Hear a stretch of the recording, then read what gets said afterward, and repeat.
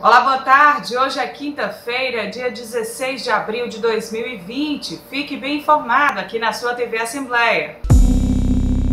Os casos do novo coronavírus registrados na capital são bem preocupantes, mas o Laboratório Central de Saúde Pública do Piauí divulgou dados que também acendem um sinal de alerta às autoridades em saúde, que é o grande número de casos de H1N1 aqui no estado. O crescimento da síndrome gripal e síndrome aguda grave foi de mais de 1.500 no primeiro trimestre deste ano, em comparação ao mesmo período do ano passado. Entre janeiro e março de 2019, 0,4% das amostras de secreções respiratórias foram positivas para o H1N1, enquanto no mesmo período de 2020 a positividade aumentou para 6,3% das amostras testadas, o que representa 1.575% a mais. O LACEN também informou que dos 47 óbitos registrados desde o início da pandemia de coronavírus, 8 foram por Covid-19, 7 por H1N1, 10 por outros vírus e 22 por outras causas. Esse achado traz um alerta importante, tanto para os profissionais de saúde quanto para a população. Primeiramente, temos que destacar que trata-se de um vírus que já possui vacina e possui um tratamento com medicamento antiviral. A melhor forma de prevenção contra a gripe H1N1 é a vacinação, cuja campanha nacional começou no dia 22 de março. Na primeira etapa, as doses são direcionadas a idosos e profissionais da saúde. A segunda fase começa hoje. Então, o público-alvo para essa fase agora do dia 16 de abril é sim profissionais de segurança pública, agentes né, do sistema prisional, é, jovens de 12 a 21 anos que estejam cumprindo medidas socioeducativas, caminhoneiros, motoristas de tra transportes coletivos, pessoas né, que possuem doenças crônicas. Então, todo esse público ele deve sim procurar a unidade de saúde, é claro, né, que combinar para que a gente não tenha aglomerações, ainda estamos em distanciamento social, ainda estamos em quarentena, e isso é importante que a população realmente abrace essa causa, ainda não é momento de nós estarmos na rua. Já a terceira fase da campanha começa no dia 9 de maio e vai até o dia 22 do mesmo mês e contempla professores, crianças de 6 meses a menores de 6 anos, grávidas, mães no pós-parto, a população indígena e pessoas acima de 55 anos. E também contempla as pessoas com deficiência. Então, convocamos toda a população que se faça presente às unidades de saúde e que venha tomar sua dose para a imunização do H1N1. Para uma imunização mais eficaz, a Fundação Municipal de Saúde abriu hoje mais dois postos de serviço drive-thru para vacinação exclusiva de idosos, ou seja, dentro dos seus respectivos carros. Além dos já instalados na Ponte Estaiada e Parque da Cidadania, os teresinenses agora contam com um ponto no Teresina Shopping e outro no Shopping Rio Puti, que devem funcionar das 10 horas da manhã até as 4 horas da tarde. No Teresina Shopping, o drive-thru da vacina estará instalado no edifício Garagem.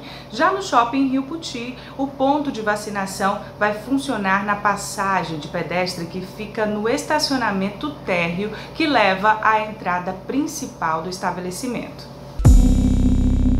Com quase 350 mil títulos cancelados, o Tribunal Regional Eleitoral no Piauí passa a adotar novas medidas no atendimento ao eleitor devido à pandemia da Covid-19. E o novo coronavírus também tem alterado a rotina nos cartórios eleitorais com a suspensão do atendimento presencial. Como estratégia, foi adotado o funcionamento remoto emergencial direcionado aos eleitores que desejam quitação eleitoral.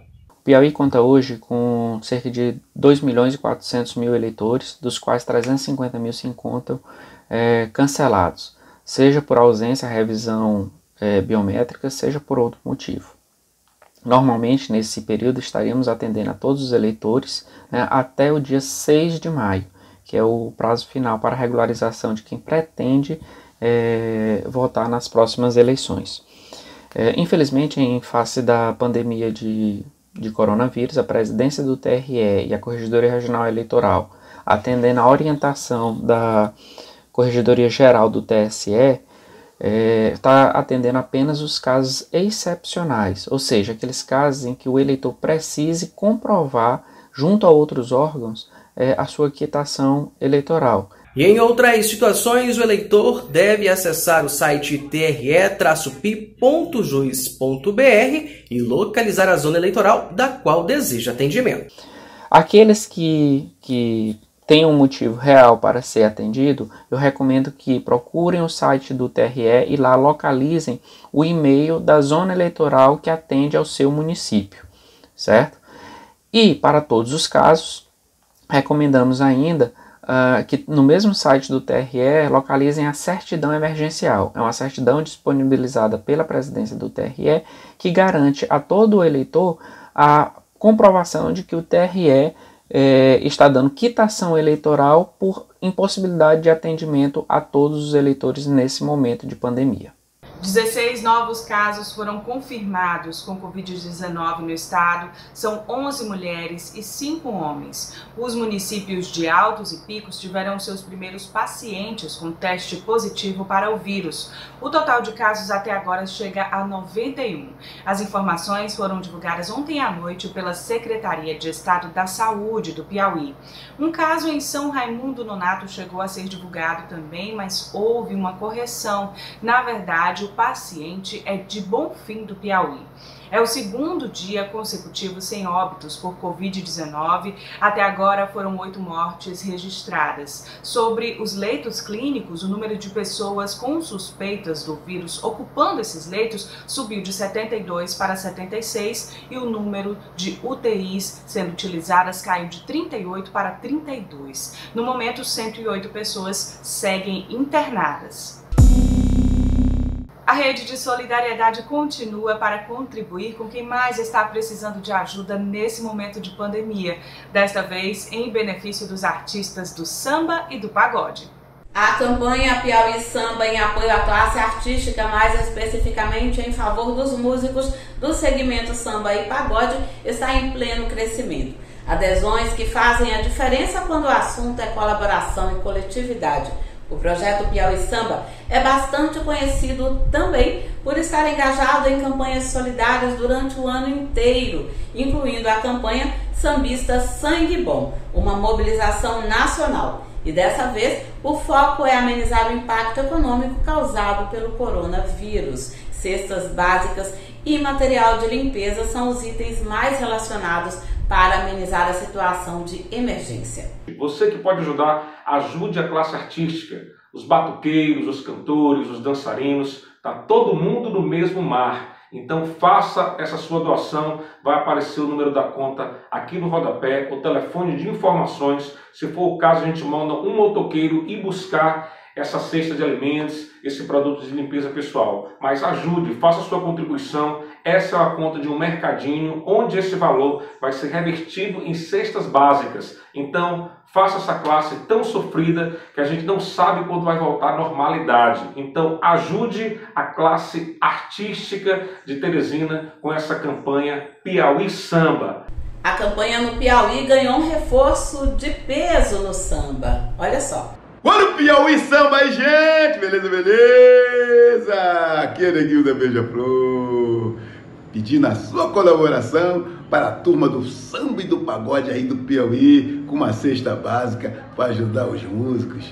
Os músicos estão numa situação brava, a população também, mas os músicos são mais atingidos porque as casas de samba, as casas de, de, de show estão fechadas. Colabore! Acesse as nossas redes sociais, o Instagram é através do endereço TV Assembleia Pi, o YouTube é pelo Legislativo Pi e Facebook é através do TV Alep oficial. Nós ficamos por aqui, mas a qualquer momento voltamos com mais informações a todos. Uma ótima tarde!